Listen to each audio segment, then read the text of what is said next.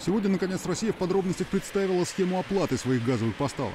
Ту самую схему, которой придется следовать государствам, состоящим в списке недружественных стран. Собственно, Евросоюзу будет позволено соблюсти лицо. Отсюда смогут платить в евро, хотя фактически будут это делать в рублях.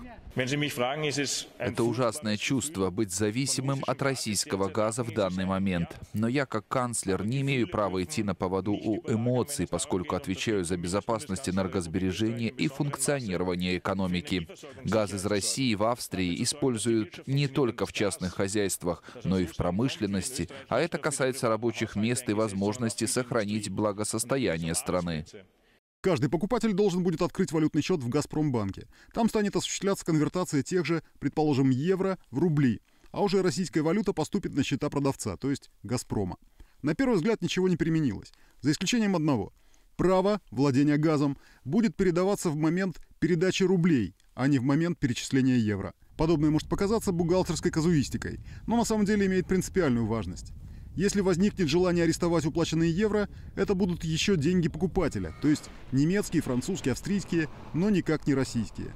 Нам никто ничего бесплатно не продает. И мы тоже не собираемся заниматься благотворительностью. То есть действующие контракты будут остановлены.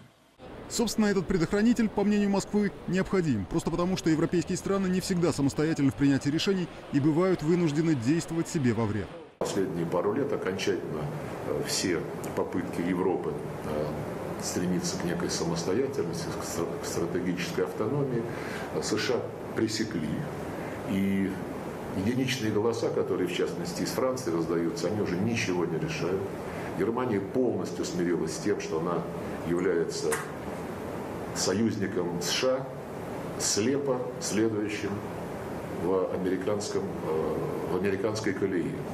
Помимо сохранности денег, в принуждении к рублю есть еще один важный момент. Отчего превращение деревянного в газовый вызвало такой ожесточенный протест? Есть подозрение просто потому, что у Старого Света нет реальных, обеспеченных денег. Прежде работала такая схема. Россия поставляет газ и нефть, а выручку оставляет в западных банках. Стерилизует, так сказать, ликвидность. Деньги хранились, с учетом инфляции, под отрицательный процент, и к ним десятилетиями никто не прикасался.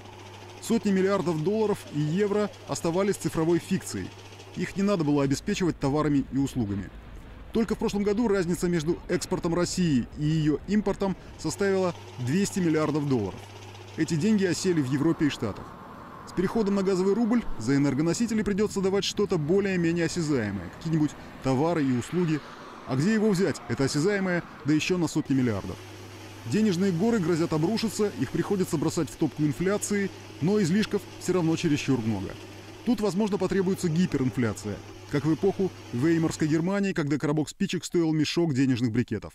Альтернатива – дефицит и карточное распределение товаров, к которым уже понемногу приходится привыкать.